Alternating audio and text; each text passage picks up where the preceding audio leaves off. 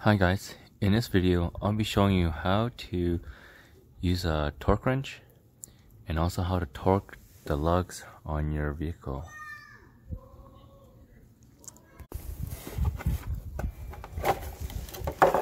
So on your torque wrench you should have different measurements.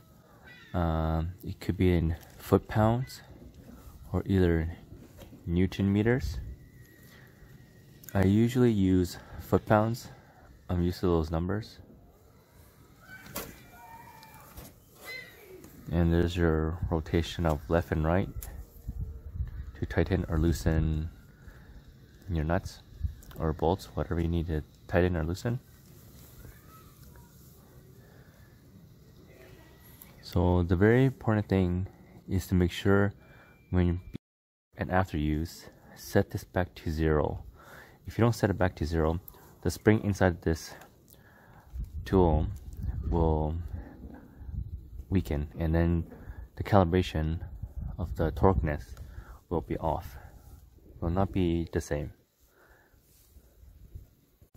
So on a Toyota wheel lug specification the torqueness sh should be 76 foot-pounds so now I'm going to adjust the dial to 76 foot-pounds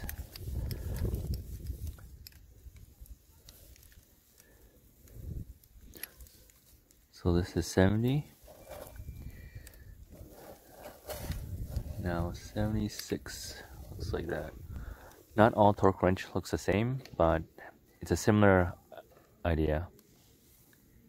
So a torque wrench not only works on wheel lugs, it works on bolts, nuts, anything you need to tighten to a specific torqueness. So I want to show you a demo as I tighten the wheel lugs, when it gets close to 76 foot-pounds, when it clicks, that means it has reached 76 foot-pounds. You'll know it once you tighten the lugs.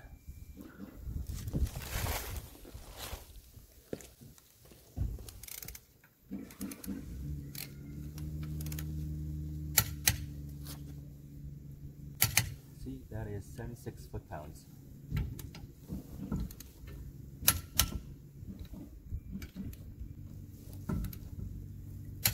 you notice that there's a louder click.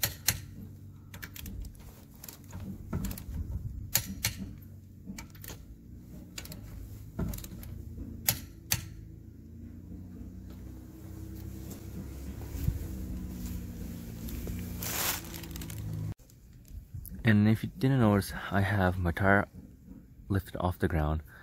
I did not want the um, bolts to have any tension. So this will give me a more accurate reading of the tightness of each wheel lugs.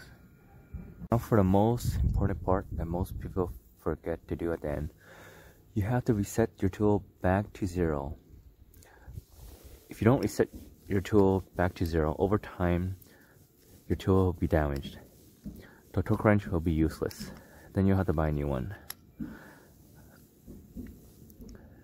There you go. I'm back to zero. Thank you guys for watching this video. Don't forget to hit the like and subscribe button below. More videos to come. Stay tuned.